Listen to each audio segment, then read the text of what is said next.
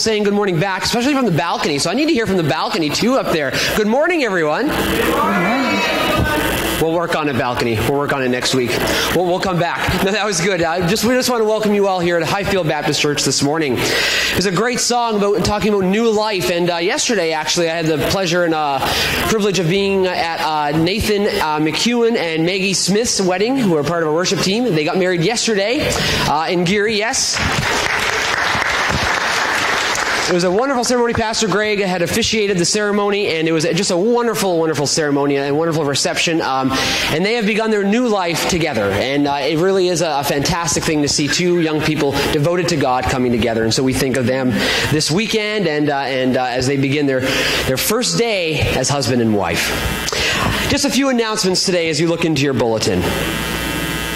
Uh, tonight, just a reminder at 6 p.m., we're going to be continuing on with uh, We're in It Together uh, worship um, time together tonight. Uh, that is going to be our chance to uh, talk about persecution and uh, different areas overseas that are definitely in need of prayer, and we're going to take some time to do that tonight at 6 p.m.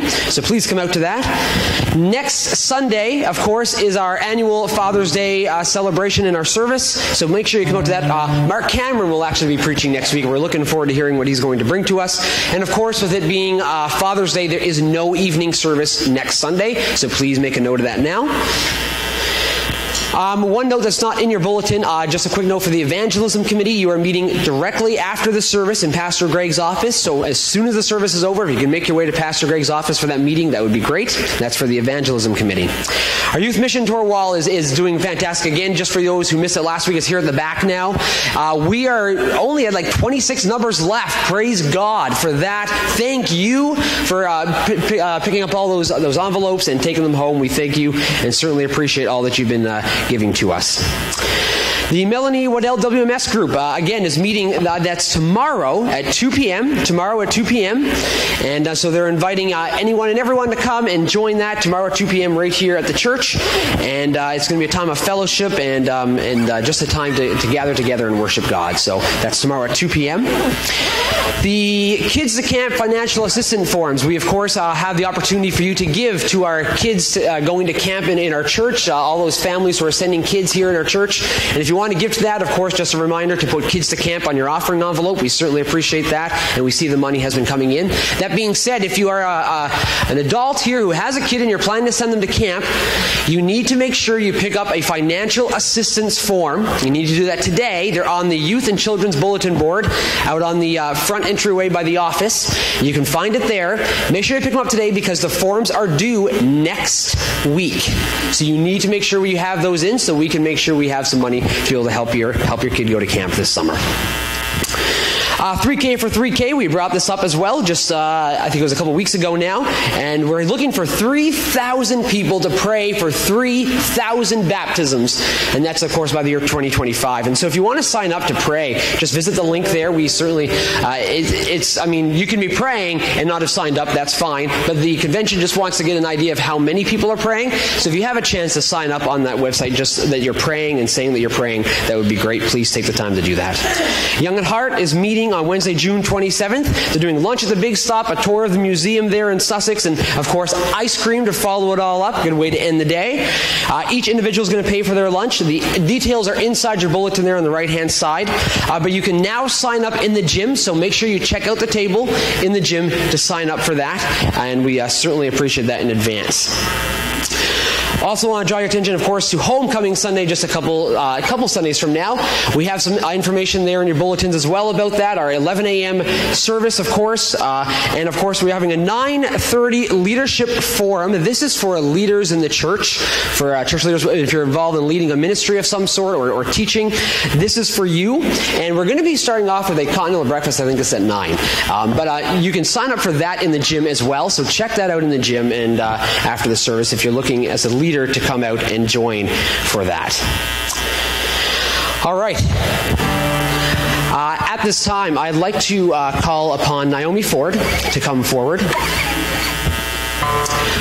We are getting to that time of the year where we begin to recognize um, graduates, people who have finished up uh, either high school, college, or university. And of course, this morning is actually Naomi's last Sunday morning with us, if I'm correct, for a little while, right?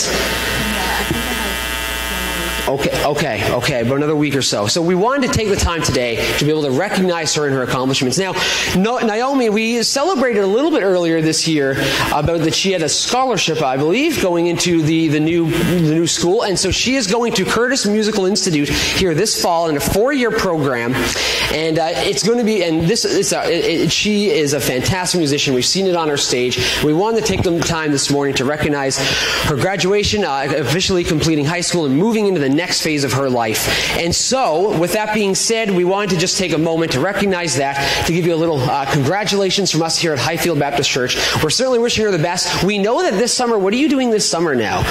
Um, I'm playing with the National Youth Orchestra, which is touring around some of Canada and Europe. Amazing, isn't it? Yes, that, absolutely. Well, we as your church family are so proud of you. We're so excited to see how God is going to use you in the future. And so, on behalf of all of us here at Highfield Baptist Church, congratulations on your graduation, Naomi.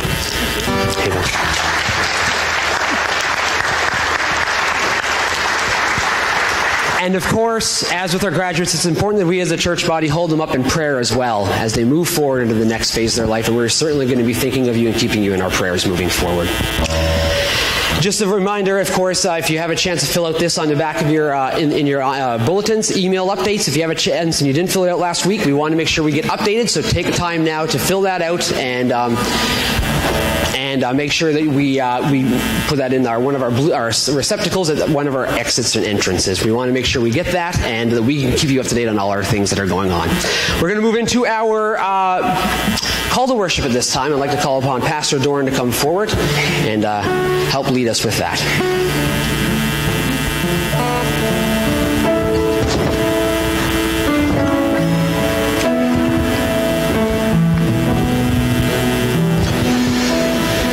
Morning, church.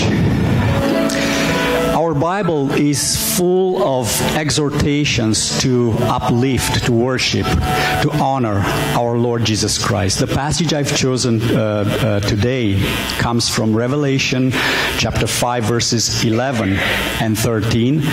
And uh, they will be uh, read by um, this beautiful family in English and then in Arabic.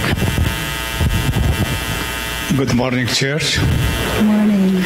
Revelation 5 11, 13, 14. As I look, I hear the voices of, of, a lot of angels around the throne and the voices of the living creatures and of the elder. There were millions and millions of them, and they were saying in a loud voice, the Lamb who was killed is worthy to receive power, riches, wisdom, strength, honor, glory, and praise. Then I heard all being in heaven and on the earth and under the earth and in the sea offer praise. Together, all of them were saying, Praise, honor, glory, and strength forever and ever to the one who sit on the throne and the Lamb. Amen.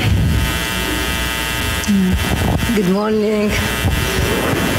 أقرأ باسم الآب والابن والروح القدس ونظرت وسمعت صوت ملائكة كثيرين حول العرش والحيوانات والشيوخ وكان عددهم ربوات ربوات وألوف وألوف قائلين بصوت عظيم مستحق هو الخروف المذبوح أن يأخذ القدرة والغنى والحكمة والقوة والكرامة والمجد والبركة. وكل خليقة مما في السماء وعلى الأرض وتحت الأرض وما على البحر كل ما فيها سمعتها قائلة للجالس على العرش والخروف والبركة والكرامة والمجد والسلطان إلى أبد الآبدين آمين Let us pray. The Lamb who was slain is worthy to receive all the praise, all the glory, all the honor. And we're here today, Lord Jesus, to do exactly this thing. Lord, we look forward with hope in anticipation of that moment when people, millions and myriads of people from all the nations, all the tongues, all the tribes will worship you, Lord. But today we are here, Lord, in this place, in this church, in this city, Lord. And in your name, Lord Jesus, I declare this church sacred space and holy ground. And in your name, Lord Jesus, I declare with confidence let the celebration begin. For we are here to worship you, Lord Jesus. We are here to honor you. I pray for all this congregation and everything that will happen here, Lord, that you will be honored and worshiped in our midst. And Lord, I just want to say, we love you. We love you because you loved us first. We love you for what you have done for us. We love you, Lord Jesus. Take our praise because you are the only one worthy in your mighty name. And all God's people said, Amen. Amen. We want to worship the Lord and come into his presence and not just go through the motions today, but let God meet us here. Amen. Thank you, Tassin, and amen. Found out what a good cook that this lady is last Sunday. So graciously hosted Greg and I in their home, and the food was amazing. I wish I could cook like that. Don't think it's going to happen. Sorry, Greg. Thank you for reading scripture. And it's one day we will hear, we will worship together in every tribe and every tongue, and we get tastes of that on earth, and it's so beautiful. And this song, I just, as we enter into worship, I wonder if you just stay seated, and then I'll, I'll invite you to stand. But I just wonder if you would prayerfully sing this song as a prayer. Um, just letting all the distractions of maybe this week or this morning melt away. Um, we come before the Lord, and sometimes I love the first line because this is when the music fades, and sometimes that that's not music. Sometimes it's just busyness and noise. Life is so busy and and fast paced. If you're anything like my home, maybe you're at a different stage of life, but sometimes it just literally feels like a roller coaster that you're just you know tag teaming in and out of the door, and and and yet when we come into His presence and it's all stripped away that's the place that we find our strength at his throne and at his feet. And I pray that you find yourself there often because I know that I need it. And this says, when the music fades and it's all stripped away, and I simply come, and God reminds me of all the things that I've made it about me and God says it's not it's not about you. It's about what I'm trying to do. And so I pray that that's our prayer as a church that we make it not about us, but about what He wants to do. Let's sing together when the music fades.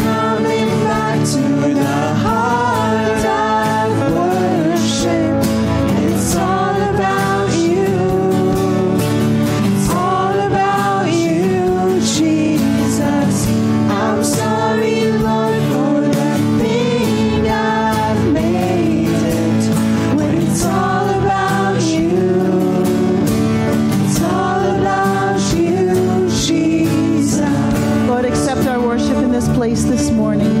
We want it to be all about you, Lord. You are our solid rock. You're our portion, our strength, and our strong tower, God. We just lift your name high this morning. In Jesus' name, amen. Would you stand with us and welcome one another? We're going to go into the chorus of On Christ, the solid rock I stand. He is our solid rock. Amen.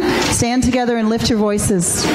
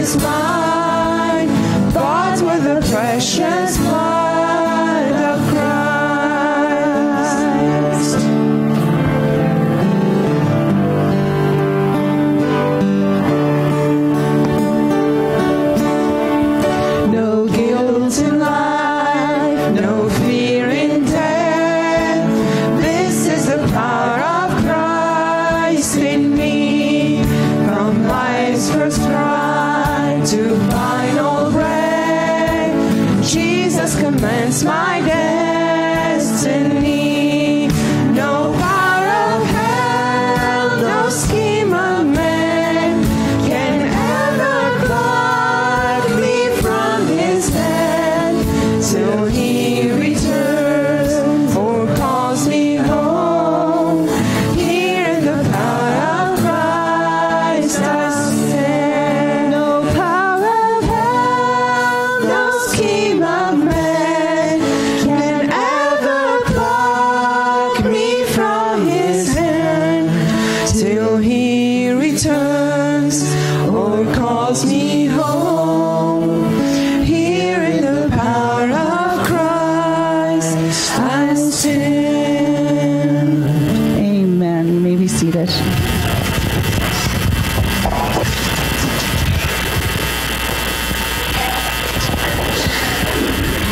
Was one of my favorite songs growing up, and even to this day, it's actually it's one of those songs that really does make me shed a tear every single time. In Christ alone, fantastic song. At this time, I'd like to ask our ushers to come forward to prepare to take up this morning's tithes and offerings, and of course, our children can come forward. We're going to get you children here. Listen very carefully to sit here on the ground to look at the screen. We're going to look up at the screen, so you're going to sit here on the ground and look up at the screen. Or, or the stairs and look at the screen. That works too. Yeah, that, that's fair. That's good. We're going to get you a look at the screen. We want to play a little video for you. Uh, we've almost got them all, I think. Waiting on a few more. Yep, take a seat there, guys. Come take a seat. And we can, uh, we'll play that video now.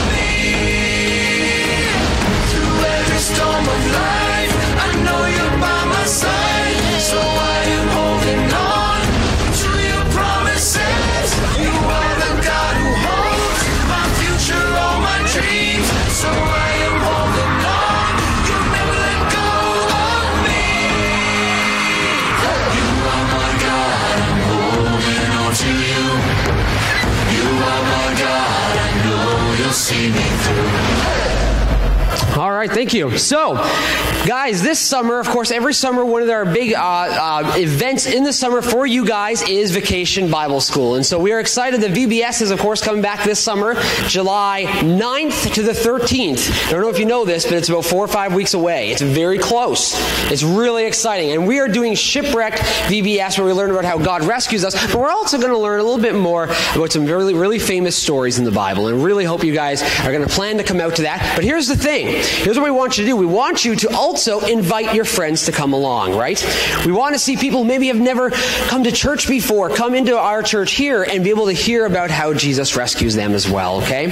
So it's really important. That's my challenge to you guys is to try to invite someone. Think of someone you don't someone you know who has never really been to church before, who has never heard about Jesus and, send, and give them an invite.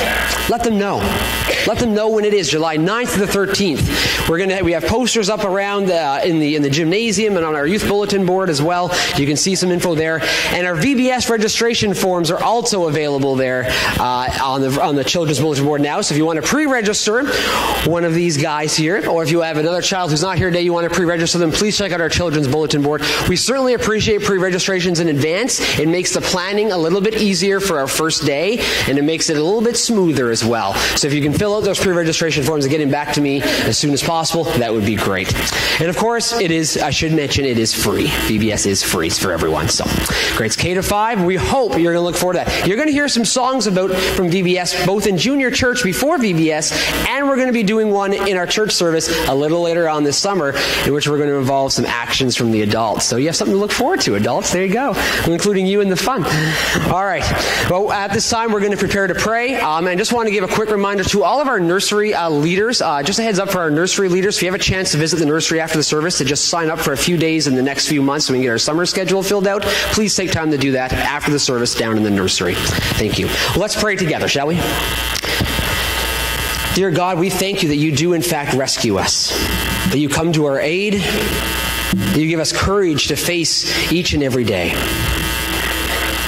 Lord, we are grateful that we can come here and worship you, and we pray now that we can continue to learn about you downstairs, and that through these gifts that we offer to you, that more people will also come to know the name of Jesus Christ, their Lord and Savior, and the one who rescues them from sin. Thank you for being with us this morning. We pray for all of these things in the name of Jesus Christ, our Lord and Savior. Amen.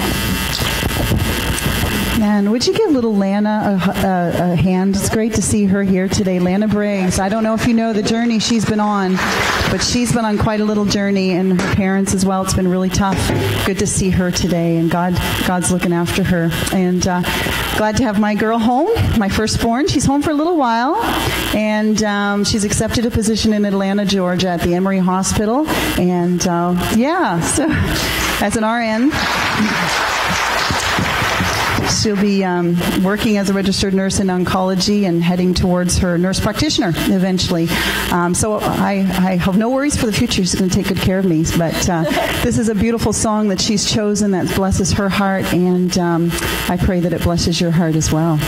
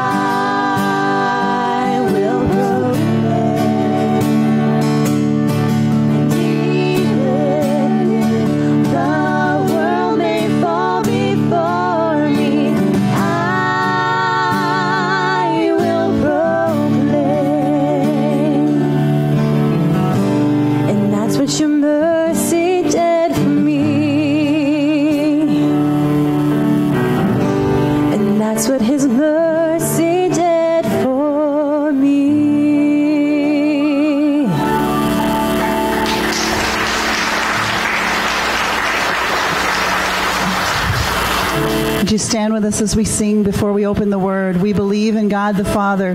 Based on the Apostles' Creed, beautiful put to music here. We believe in the Holy Spirit. He's given us new life. We believe in the crucifixion. We believe in the resurrection. And we believe that He's coming back again. Do you believe that today? Do you believe He's coming back again? Do you believe it could be today? Amen.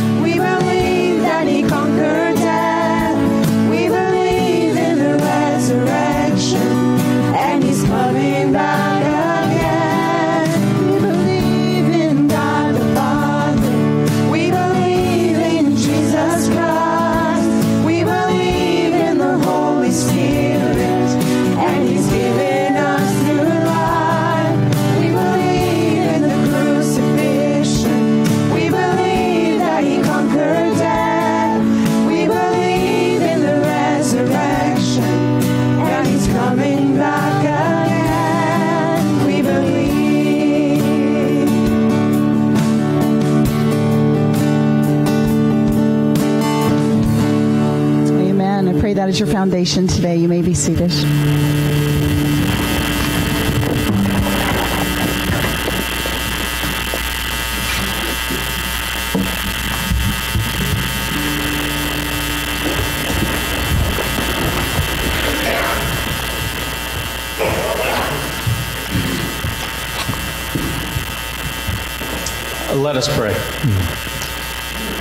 Loving and heavenly Father, we are so privileged to be here today.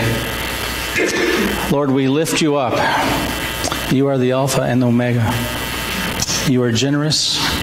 You are gracious. You are holy. God, we thank you for those attributes. Lord, we thank you that you see all things and you are in charge of our lives and of the world. And Lord, as we come here this morning to worship you as a church, what a privilege it is that we can meet openly. What a privilege it is to live in a Canada, in this country, Canada, that we are free to do so. We pray for the church that are oppressed and persecuted. And Lord, just be with them today. Give them that peace and the strength that they need to carry on.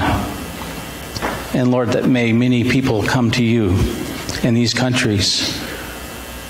But Lord, as we shift back here in our own church, Lord, I pray that each one here, as they reflect on your word, not only read the word, but let us be doers of the word. Let us humble ourselves. Let us put others first. Let us not be selfish, but let us be selfless.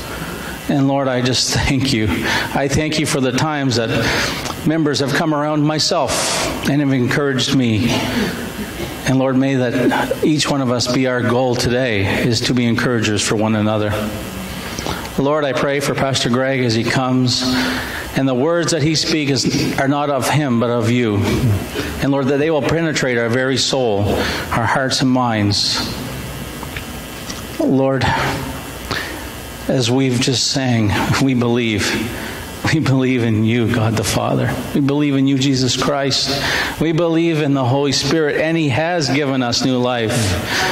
And Lord, I just thank you for these words, and I thank you for the wonderful musicians that have penned these to paper. From the beginning of time, you have given us the gift of music to praise you. And Lord, right now I pray for our, our leaders, uh, world leaders, as they meet. And Lord, I pray for a very important meeting that's coming up next, uh, this week, I believe, is coming up. And Lord, uh, I just pray that you'll be with these world leaders and hearts will be changed and that you will be in the midst of these meetings. Uh, Lord, sometimes that's hard for us to, for the world to see, but you are in control. And Lord, I just am so privileged that I can call you Father. And as Father's Day comes upon us, let us be mindful of our fathers and other people in our lives that have been influences on us. But ultimately, you are the good, good Father. Hmm. And Lord, as we continue to enter into worship with you this morning, you said to us, those who come to follow you, that we are to deny ourselves and carry our cross. Lord, for those who seek to save themselves will be lost. But Lord, we thank you for that promise that those who lose their life, those who lose their life will be saved. So, Lord, continue on worshiping to us um, and blessing us as we worship you. Lord, sometimes words get mixed up, but you know our thoughts. So, Lord, continue to bless us. Thank you again for the worship team. And Lord, I right now as I'm praying, I think of our children. I think of the summer that's coming up, and there's so many trials and tribulations that face and temptations that face our children during these vacation times away from church, some of them. So, Lord, be with our bus ministry kids. Uh, Lord, just pray, pray that uh, their influence here uh, will spill out into their communities. So, Lord, be with us. Thank you for that promise that you have given us new life. We ask these things in Jesus' name. Amen. Amen.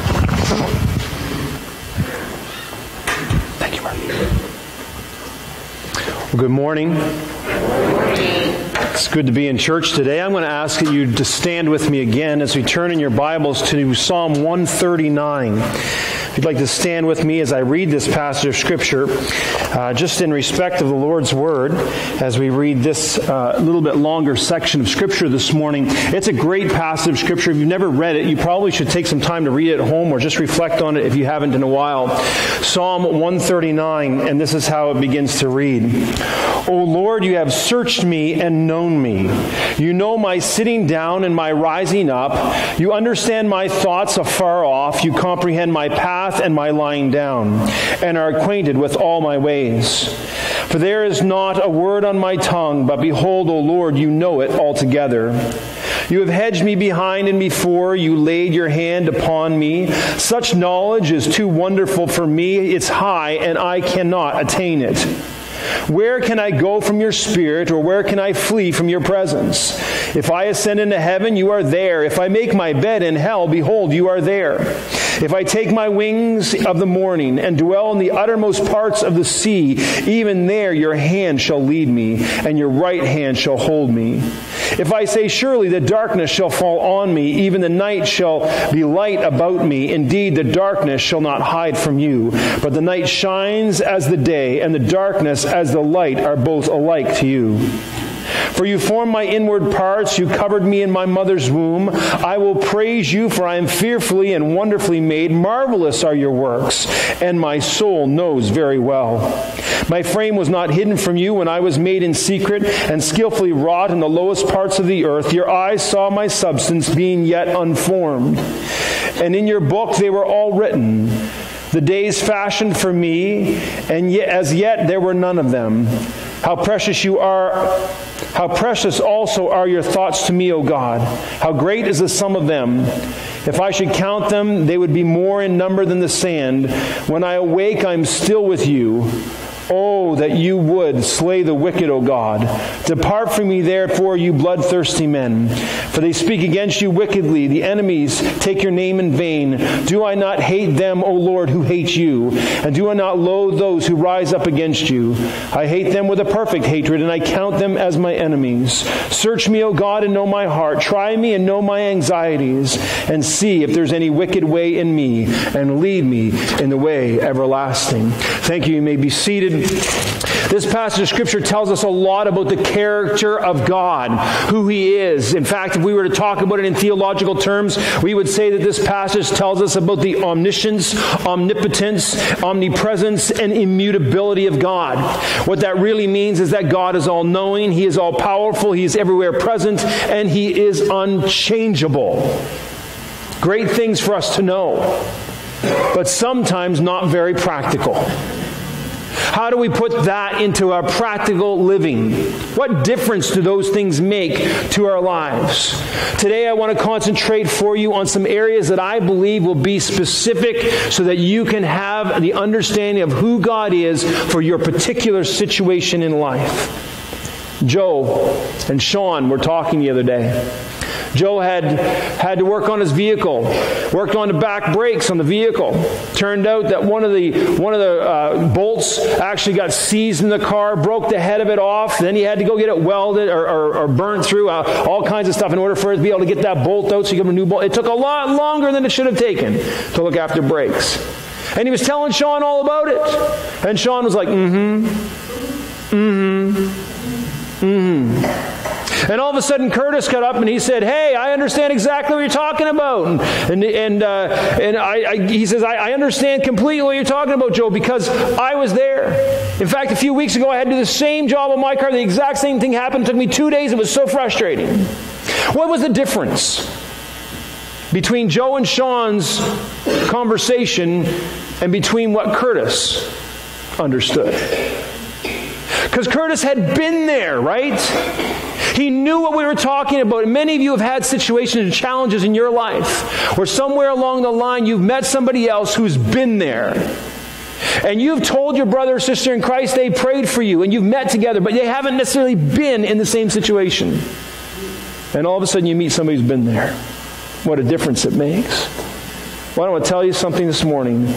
Our God understands. There was a group of engineers who had to make a new building, and the building had to be accessible to all people. And so they talked about how they were going to make it accessible to everybody. How are they going to make this wheelchair accessible? How are they going to make sure that it was all the all the different uh, controls, light switches, doorknobs, everything else were going to be at the right level? How are they going to do that? So they met with others who had done a similar construction in the past. And they found out that there was always something that was missing. So they talked with those who were in wheelchairs and they found out the best they could, what they could understand. And then somebody had a bright idea and they said, Why don't we do this? Why don't for one day we all get in a wheelchair and spend the whole day in a wheelchair? And the engineers began to have a new understanding of what it was to be confined to a wheelchair. And it was the best construction they'd ever done. Personal care workers working in a home with seniors and their leadership wanted them to help them to understand better what it was like to be a senior who was being cared for by somebody who was in their 20s or 30s or 40s. And so they all had to wear a pair of glasses with Vaseline smeared on it and put cotton batting in their ears. And they worked for a day like that. And all of a sudden they began to understand the effects of aging and who they were serving. The photographer one time wanted to get some understanding of what a swamp really was about. So he sent a drone over top, took some pictures, but didn't really get to understand what a swamp was like in Florida until he took socks and his shoes and his pair of shorts. He walked into the water. And when he walked in the water, the mosquitoes were buzzing and the frogs were chirping, and this guy was looking at him in the face. Our God understands us because he got into the swamp. He understands us because he puts Vaseline on his glasses and cotton batting in his ears. Our God walks or, or, or rides in a wheelchair for the day. The omniscient God, the ever present God, confines himself to a planet, a country, a province, a city, to a body, a human body. Philippians chapter 2. Though he didn't though he was God, he did not think it was equal. He did not think of equality with God as something to cling to. Instead, he gave up his divine privileges and he took the humble position as a slave. And he was born as a human being. And he appeared in human form. And he humbled himself in obedience to God and he died a criminal's death. Our God understands what it is to be like us. In fact, in John chapter 19 and verse 28, it says Jesus knew that his mission was now finished. And to fulfill the scriptures, he says, I am thirsty. Can you think about that for a moment? Our God understands us because he became human and thirsted. God probably never experienced thirst before he became a man. In John chapter 11 and verse 35, it says that Jesus wept. Our God understands you. He knows what it's like to have emotional challenge, to have loss, to have grief, to have his feet hurt after a long day of walking down dusty roads. He understands us. In Mark chapter 4 and verse 38, it says Jesus was sleeping at the back of the boat with his head on a cushion. And the disciples woke him up. Can you think about that for a moment? The God of all creation, who created everything that there is, sustains it in the palm of his hand, had to sleep because he was tired. He understands fatigue. Matthew chapter 21 and verse 18, it says, In the morning as Jesus was returning to Jerusalem, he was hungry. You ever get hungry? It's 10 to 12. You probably are all hungry. And God understands what it's like to have a little growl in the belly and to feel that. Jesus got into the swamp. Let me ask you this question What care do you have today that is too insignificant to talk with Jesus about? Who somehow you might think that you could talk to him, and because he's so big and so mighty and so far away, he couldn't possibly understand when he's already walked the road we walked. What area in your life could you possibly think that God couldn't understand? You say, well, maybe temptation. Well, it tells us that he was tempted in all ways like we are, yet without sin. Christ's own body desired food after 40 days. And there it was, Satan himself stood before him and says, Make these stones bread. And Jesus says, You cannot live by bread alone. But his body was screaming out, I'm hungry. He understood. He knows who we are. Let me just tell you a few things that I think Jesus understands in bigger sentences or bigger ideas, and, and then maybe you can pick a few of your own as you leave. Jesus understands our problems. Jesus understands loneliness. You ever felt lonely? It's amazing how sometimes you can be in a place where there's a hundred people,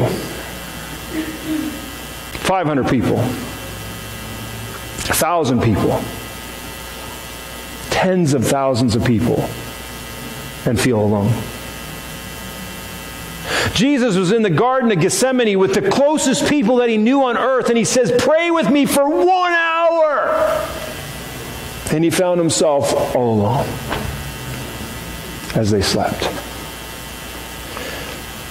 You have sorrow in your life in some way. John chapter 11 tells us about that great story between Jesus and his good friend Lazarus. And God's own heart in the person of Jesus Christ weeps. And he understands sorrow. Is it relationships? Jesus understands relationships, let me tell you. He spends three plus years with Judas. Three plus years with Judas in the inner core of who he is. And what happens with Judas? Don't worry about the phone, folks. I had somebody call me one time while I was preaching. That was wild. And my phone was on. Don't worry, that happens. We live in 2018. It's Jesus had this amazing intimate relationship with this person called Judas. And Judas takes out a knife and goes pow, right in the back. Ever been in a relationship like that? Ever feel that? He understood a relationship with a, a lady named Martha and Mary. One who wanted to sit at his feet and learn all the time and just hang out with him, and one who just wanted to serve him. Now, I don't know, I could probably have a couple people like that in my life. I wouldn't mind it too much. Huh? If I had somebody to serve me and somebody just listened to everything I had to say all the time, that was great. But Jesus had that influence in people's lives. Jesus had a relationship with Peter. And at the very crux of most important moments in God's life in the person of Jesus Christ, Peter says, I don't even know the man. Jesus understands our problems. Maybe your problems are some of the needs of the world. And Jesus says in Matthew chapter 10 Are not two sparrows sold for a penny? And yet not one of them falls to the ground outside without your Father's care. And even the very hairs of your head are numbered. So don't be afraid. You are worth far more than sparrows. And yet at the same time, it's said of the person of Jesus Christ that the Son of Man has nowhere to lay his head. Sometimes you might not have all that you think you need for your daily needs. Jesus understands that. He knows what it is to be hungry, to have no permanent dwelling. Whatever it is, whatever problem you might face, Jesus understands. Secondly, Jesus understands our plight. We are lost people. He understands that there is a plight here. In Acts chapter 8, we're going to turn there for a moment. Acts chapter 8, and I'm going to begin to read at verse 26.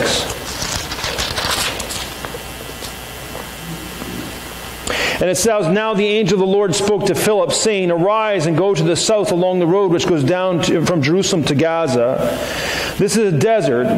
So he rose and went, and behold, a man of, Ethiop- a man of Ethiopia, a eunuch, a great authority under Candace, the queen of Ethiopians, who had charge all of her treasury and had come to Jerusalem to worship, was returning. And sitting in his chariot, he was reading from Isaiah the prophet. Then the Spirit said to Philip, Go near and overtake this chariot. So Philip ran to him, and he heard him reading the prophet Isaiah and said, Do you understand what you're reading? And he said, How can I unless someone guides me?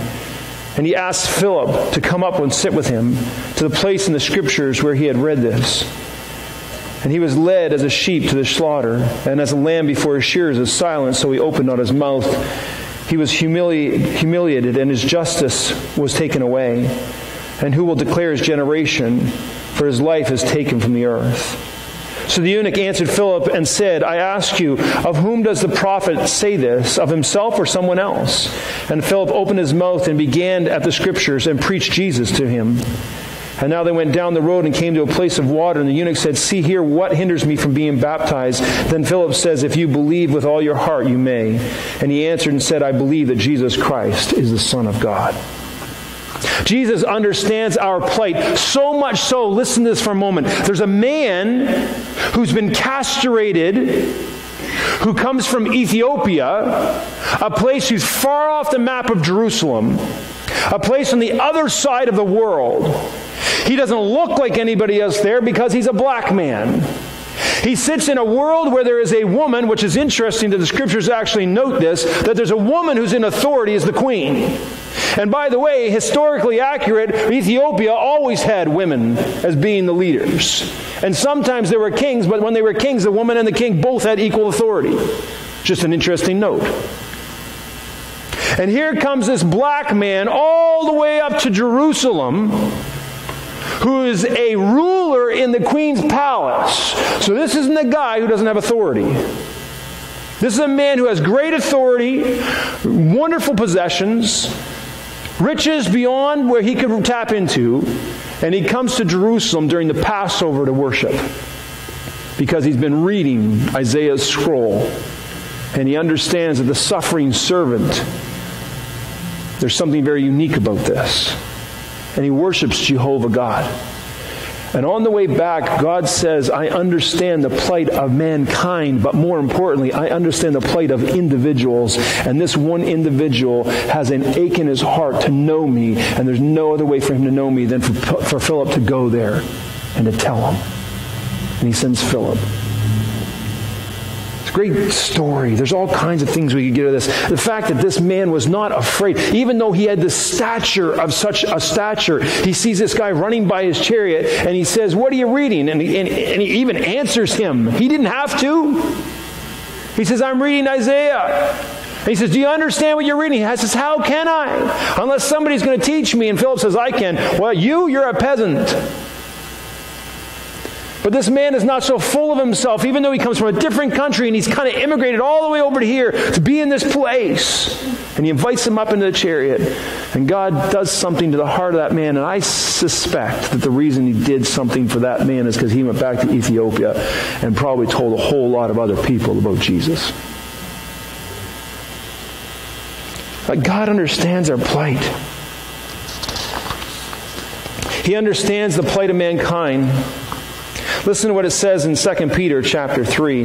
But beloved, be not ignorant of this one thing, that one day is with the Lord as a thousand years, and a thousand years is one day. Listen, the Lord is not slack concerning his promise, as some men are slack, but is long suffering to usward, not willing that any should perish, but that all should come to repentance. God understands that the plight of man is hopelessness. If you're here this morning, maybe you don't come to church that often, maybe you have, but you think that, you know what, life is life, this is what it is, this is what we do, and at the end of it, we go into the ground and that's it. That is hopeless. And God understands that's a hopeless idea. Furthermore, God understands the hopelessness that if we don't have redemption, we spend eternity separated from Him in a place called hell, where the Bible describes as weeping and gnashing of teeth, full of fire. And instead, he says you can have hope in the person of Jesus Christ. God brings hope through person through through Jesus. Finally, I will say this: Jesus understands people. Have you ever had a problem or situation to try to talk to somebody, but they just didn't seem to understand? Jesus understands. He understands people as individuals. He understands groups of people. He understood the Pharisees. You know how he dealt with the Pharisees? Called them whitewashed tombs, brood of vipers. You say, that's awful. Yeah, but you know who was a Pharisee? Nicodemus. Do you know what is the most quoted passage of Scripture in Scripture? John chapter 3, verse 16. The Scripture passage that Jesus quoted to Nicodemus. Why? Because he wanted to see Nicodemus saved. God understood people, and He understood that when He went to the Pharisees, if He was to coddle them in some way, they would continue their Pharisaical ways. But instead, He says, You're a brood of vipers. You are a bunch of people who are whitewashed tombs. You're pretty on the outside, but inside, you're dead man's bones. And why does He say that? Because He wants them to have a hunger. And so Nicodemus comes to Him by night and asks Him the question, and Jesus says to him, All people can be saved. For I gave you this wonderful gift, my son Christ. Jesus understands the publican. The publican is this story about not one particular person, but a type of person. A person who's humble, who doesn't have anything, who comes into the church and he raises his hands up to God, not in some kind of demonstration that everybody else can see, but in the corner somewhere. He smotes his chest and he says, Be merciful to me, God, a sinner. And God says, You're justified today because you come with that kind of heart. God understands people. He understands the prostitute who came and took an alabaster jar and broke it open and poured it over the foot of her Jesus.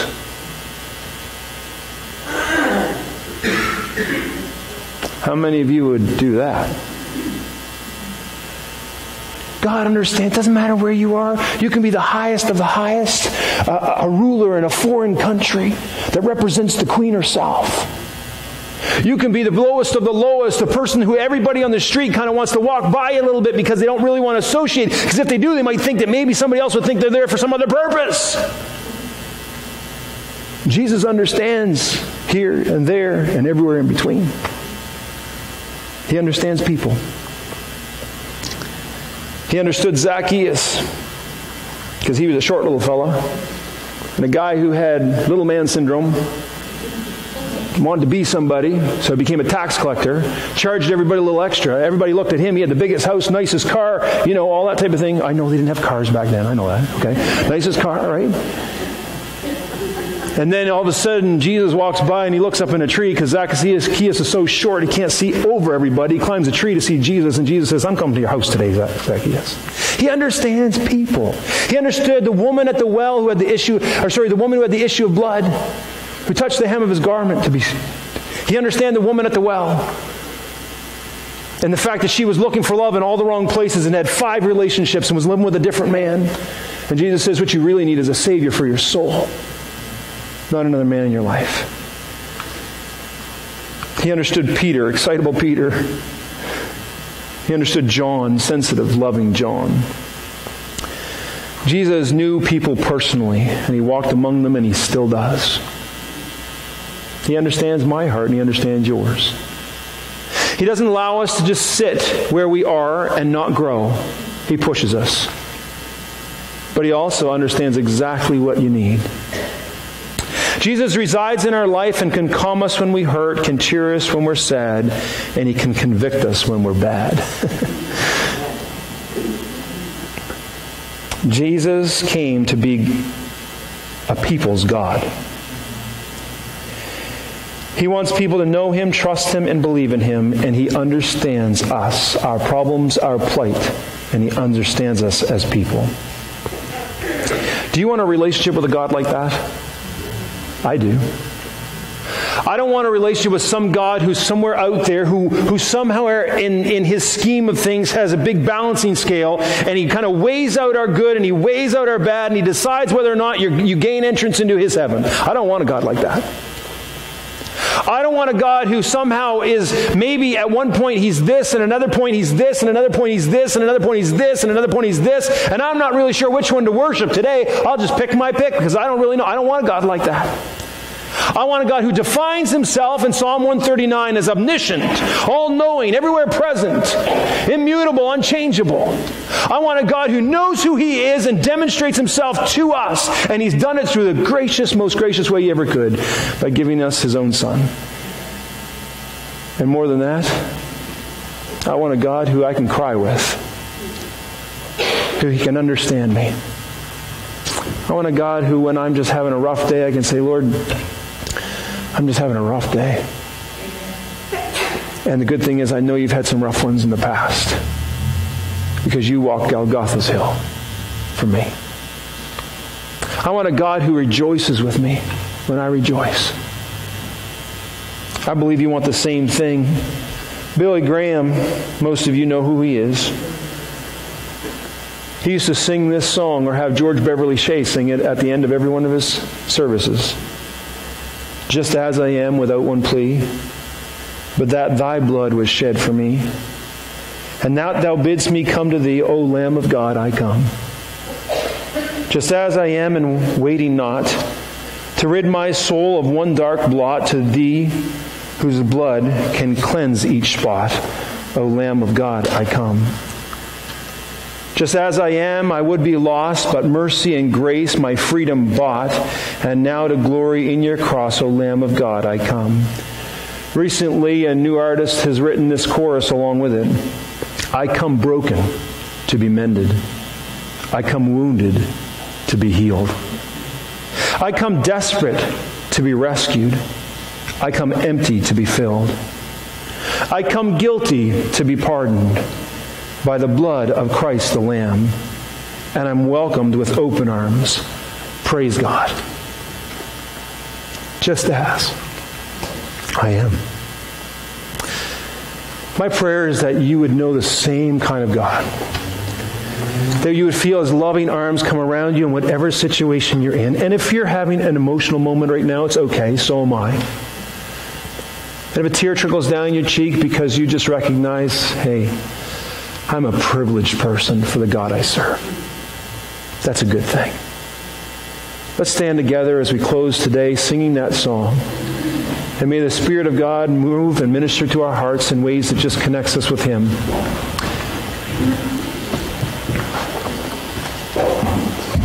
And maybe you're here this morning and you haven't come to Jesus before. The invitation is always open. Today is the day of salvation, the scriptures say. If you're here and you've never said, you know what, I believe, like we sang earlier today, I believe in God the Father, I believe in Jesus Christ, I believe in the Holy Spirit, and that He's given us new life. Maybe this morning you want to declare that. I believe that Jesus is the Son of God. I believe He died on a cross, that He was buried, and He rose again, and He paid the penalty of my sin. But I've never asked Him to come into my heart and be my Savior and my Lord. If that's your story today, maybe right now you need to say, I come. I'm just going to come and let you do your work, God. Forgive me. Be my Lord and my Savior. Know me even as I am known. And walk with me through this life and bring me hope of heaven and an eternal home. Let's sing it together, shall we? Just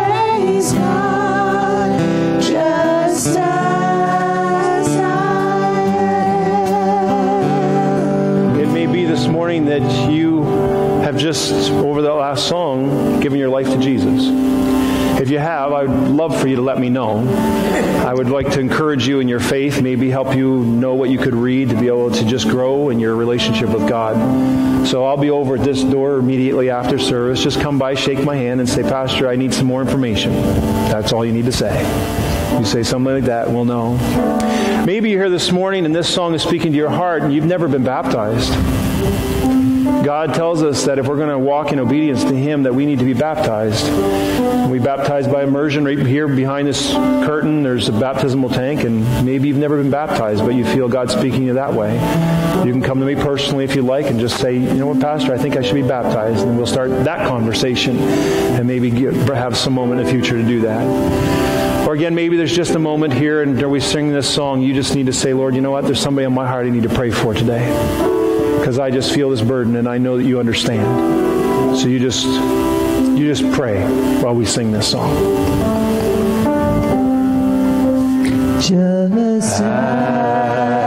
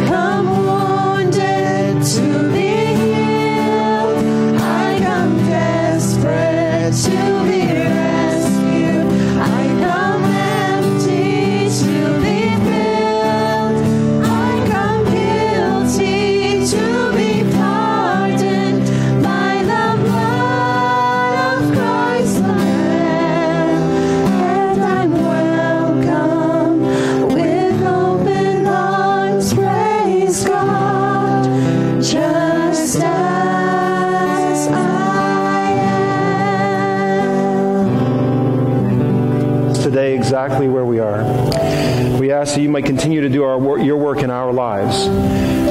For we are called to be your testimony. And we can only be a testimony to the thing that most recently you have touched us with. We need to live daily in your grace, filled with the mercy that you bestow upon us. Father, we thank you that you don't hold our wrongs to our account, but you allow us to be forgiven.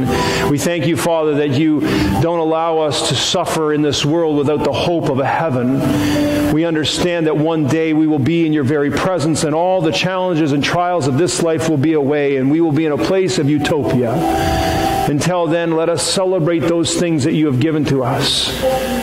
Let us celebrate the joys that are among us, and let us re- weep with one another and hold one another in account, that we might look forward to the day where Christ will return. And until that time, we pray that the church will have a voice, a voice in the world, that young people will speak at school. College and career students will not be afraid to stand up and have Bible studies with one another, encouraging people to come to Jesus, knowing that He's the hope of the world. That those of us who are in the workforce might recognize that there are those who we work with every day who struggle in this world to make kind of some kind of sense of what it is, to strive and strive and strive to bring meaning and identity to their life. When we have an answer for them, I thank you, Lord, that you've met us just where we are. And I pray for those who have struggled in this church over the last number of weeks, months, or years. And I thank you that you never leave us nor forsake us. Now let us be your witness to your presence in our life. In Jesus' name. And all God's people said, Amen. Folks, let me just remind you of a couple things before you go this morning. First of all, this evening at 6 o'clock, we have a service. We're in it together. The persecuted churches around the world. We come together to talk a little bit about a particular area, to talk about what Scripture talks about into that, and have a little prayer time together. We'd love to have you come out and join us. Next Sunday is Father's Day. Bring your dads here, okay? They can't go fishing until after lunch, all right? They got to come here first. And we have a little gift for them. We're looking forward to Mark preaching for us. I know he's got a great message the Lord's laid on his heart. We're praying for your brother this week as you continue to prepare. The week after is our roll call service, okay? If you know what that means, we're calling it homecoming. I can't tell you how many people I meet in the city of Moncton who say, Well, I went to Highfield Baptist when I was a kid. Call them up. It's the Sunday to bring them home. All right? Kevin Vincent will be here and he's going to speak to us that morning at 11 o'clock. We're looking forward to a great message. We have a leadership breakfast that morning starting at 9 o'clock. It's a leadership breakfast. And you're involved in some ministry of this church. You're invited to come to that, but you have to sign up. We've got some people prepared for that and they can't feed people they don't know they're going to be here. So please go to the gymnasium, sign up this morning, or you can call the church and leave your name there. You can send us an email, but do it soon so we'll have the numbers, okay?